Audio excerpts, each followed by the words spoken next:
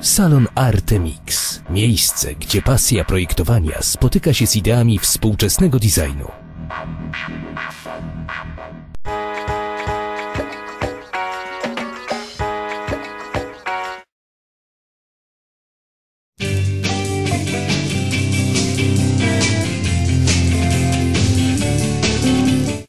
Najpierw troszkę o świecie, później e, troszkę o Polsce, a później już e, tak jeszcze bardziej zacieśniając kręg naszych zainteresowań już o Wielkopolsce i o e, Poznaniu.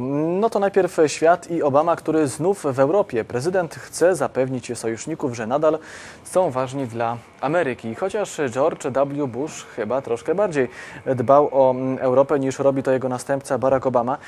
Bush częściej podkreślał rolę europejskich partnerów czy też przyjaciół, jak zwykł mawiać właśnie George Bush, a Barack Obama też mówi o tym, że jesteśmy e, przyjaciółmi Stanów, no ale ta współpraca jakby tak troszkę, troszkę nam się oddaliła. No to e, na początek dzisiaj Irlandia to pierwsze miejsce, gdzie ma pojawić się Barack Obama, ma między innymi odwiedzić e, miasteczko, z którego pochodzi rodzina jego matki. To tak na początek, a więc podróż troszkę sentymentalna, ale głównie jednak podróż polityczna. O tym, co Barack Obama chce załatwić, będąc tutaj w Europie. No i druga strona medalu, co jego europejscy partnerzy, tudzież europejscy przyjaciele chcą również załatwić przy okazji tej właśnie wizyty. No więc między innymi Dublin, to tak między innymi na początek. No i na koniec Warszawa i o tym wszystkim, co między poniedziałkiem a piątkiem i sobotą wydarzy się w Europie po podczas tej właśnie wizyty Baracka Obamy. O tym dzisiaj czytamy w Rzeczpospolitej na stronie 11. O tym, co chce załatwić Polska, co chce ugrać Polska podczas tej wizyty. Dziś nie mówimy. Mówiliśmy o tym dokładnie na tydzień przed wizytą, a więc w piątek przed weekendem i pewnie w tym tygodniu jeszcze bardzo dużo mówić będziemy. Także na razie skupiamy się na tym, co w Europie pod kątem tej właśnie wizyty Jacek Przybylski prosto z Waszyngtonu, czyli opinie amerykańskiej strony odnośnie wizyty Baracka Obamy tutaj u nas w Polsce. No, między innymi w Polsce. Co my jeszcze mieliśmy z Rzeczpospolitej? O, jeszcze mieliśmy tutaj. Hiszpania. Mówiliśmy już dzisiaj troszkę o wakacjach, troszkę o tym, że do Hiszpanii e, no, może mniej chętnie będziemy się wybierać w tym roku, ponieważ tam cały czas demonstracje, cały czas e, niespokojne są nastroje społeczne. No i te nastroje społeczne przełożyły się teraz na głosy. Wybory samorządowe odbyły się w ten właśnie weekend w Hiszpanii.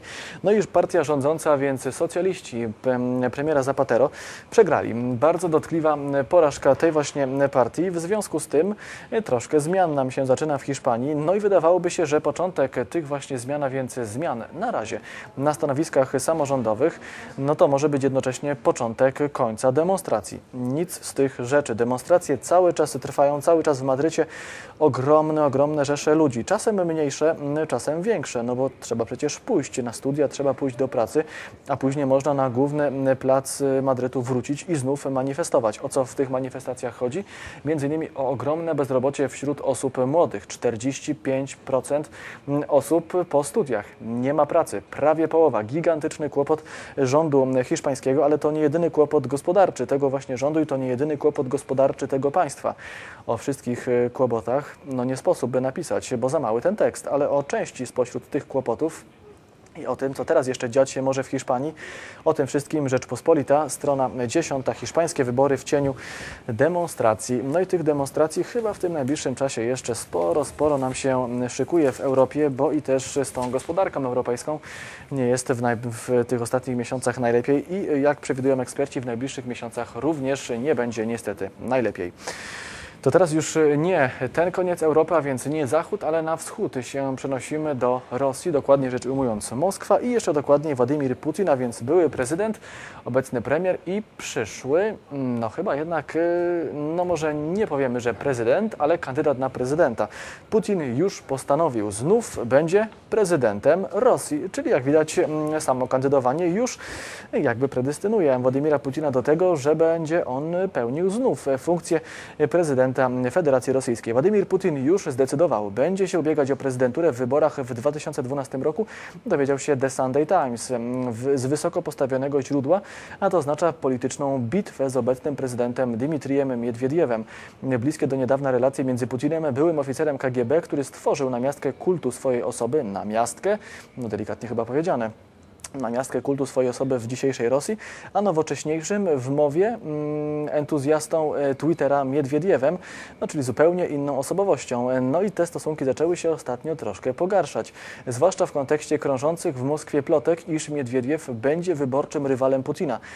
A więc no, ostre, ostre starcie nam się szykuje w roku 2012, ponieważ chyba po raz pierwszy Rosjanie staną przed realnym wyborem. Nie będzie tak, że ustępujący prezydent namaszcza swojego następcę, ale rzeczywiście Rosjanie idący do urny wyborczej będą mieli realny wybór między dwoma bardzo silnymi kandydatami. No chociaż tak patrząc na to, co do nas dociera tutaj do Polski ze strony rosyjskiej, to chyba jednak e, Miedwiediew słabszym kandydatem niż Putin jest. To przecież Putin wyniósł Miedwiediewa na Kreml, to tak po pierwsze. I po drugie, popularność Putina w Rosji jest gigantyczna.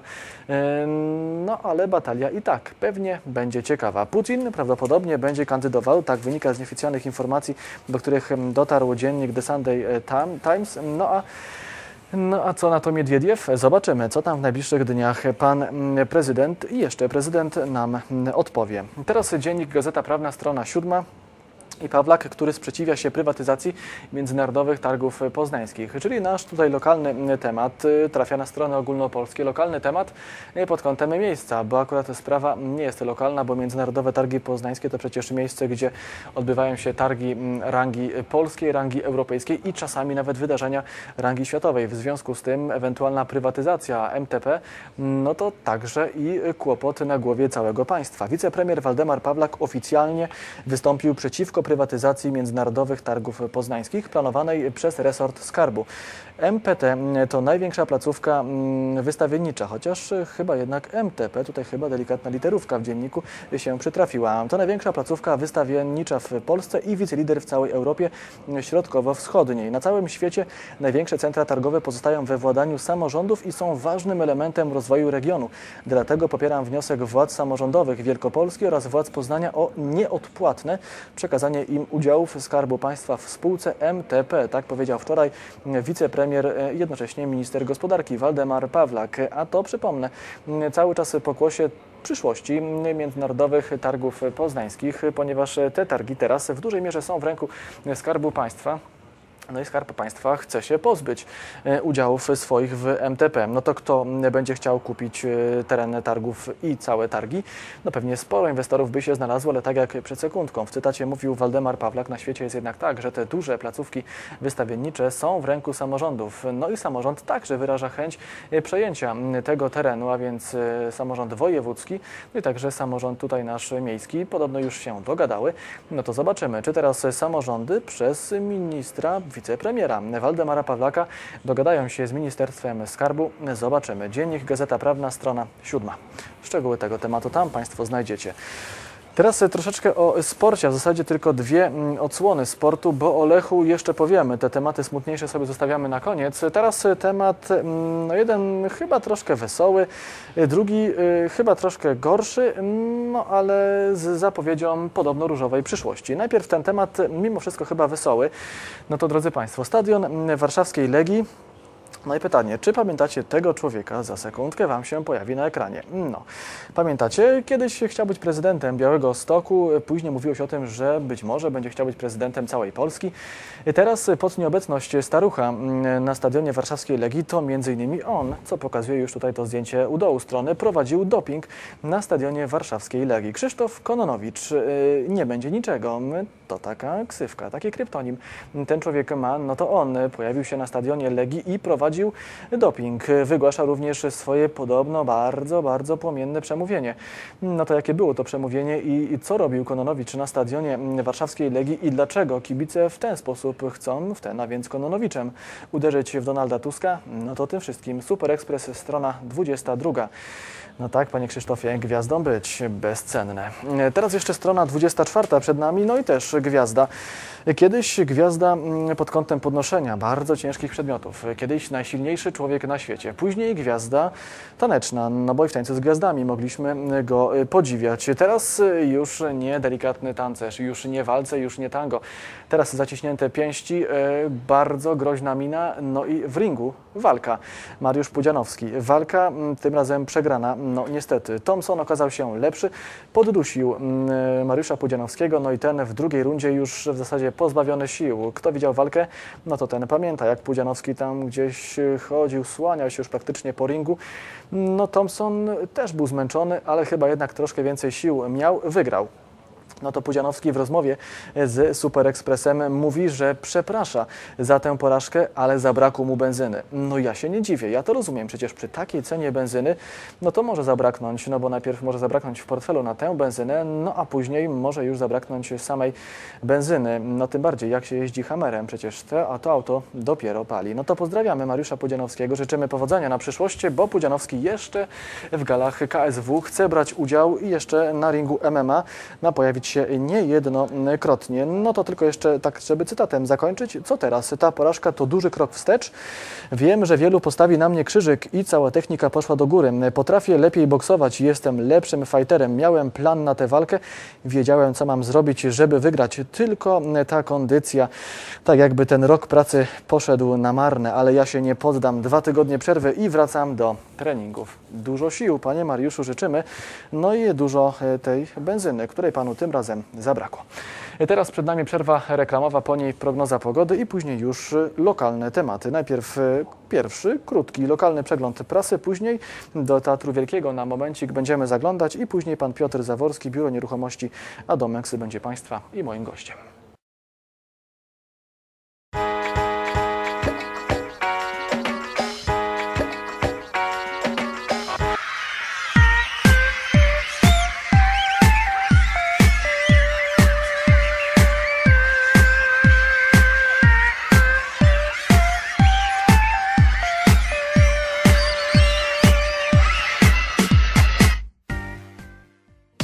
Pożyczania samochodów Furman zaprasza. Świadczymy usługi najmu pojazdów. Auta dostawcze. Niezawodne i przestronne. Dopasujemy wielkość do Twoich potrzeb. Pomoc drogowa, naprawa na miejscu lub holowanie pod wskazany adres klienta. Oraz auta osobowe. Firma Furman, ulica Chudzickiego 14 Luboń. Numer telefonu 601 72 27 27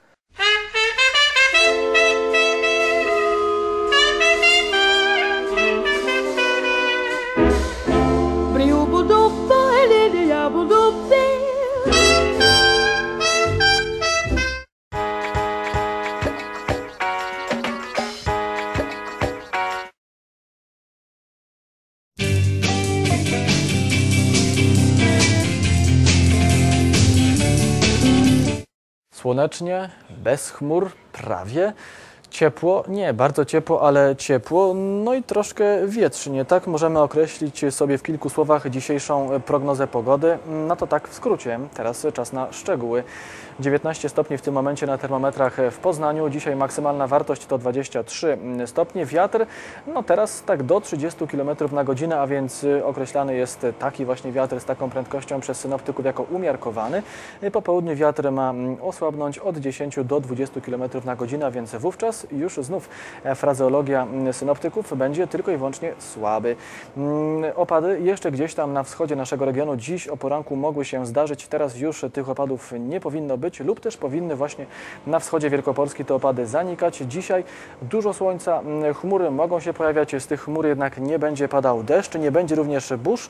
Na Wielkopolska znajduje się pod wpływem wyżu z nad Niemiec ciśnienie to 1012 hektopaskali i będzie po południu delikatnie to ciśnienie nam rosnąć. Dobrego dnia pod kątem pogody wszystkim Państwu życzymy, no chociaż chyba taki dobry dzień pogodowo nam się zapowiada. Teraz y, czas na lokalny przegląd prasy i w części pierwszej o tym, że y, czy pogoda, czy niepogoda, nieważne. Są takie osoby w Poznaniu, dla których y, każdy prawie dzień jest y, dniem złym, ponieważ coś im skutecznie przeszkadza. Wielki, wielki hałas. Co takiego? Samoloty F-16. Gdzie? Krzesiny, chociaż nie tylko. No to o tym, gdzie jest największy hałas i o tym, że miały być specjalne strefy, takie, gdzie miało być ciszej, no i w ogóle o kłopotach wokół mm, Krzesin, no bo miały być przecież specjalne strefy hałasu i specjalne strefy wolne od hałasu. Jak to wszystko wygląda w praktyce? Od tego rozpoczniemy. Lokalny przegląd prasy.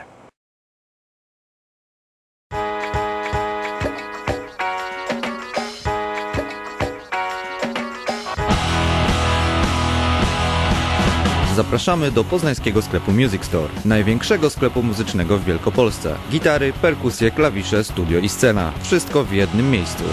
Music Store Poznań, ulica Wielka 20.